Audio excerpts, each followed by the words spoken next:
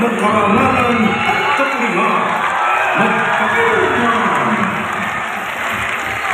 At sa ating pakikinig na uli ng mga katotohanan, naririto po si Kapatid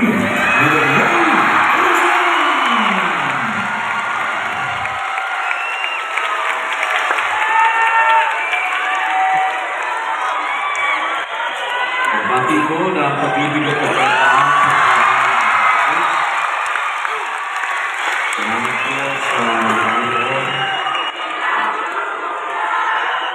Salamat sa Diyos at meron tayong mabuting pagkakataon muli na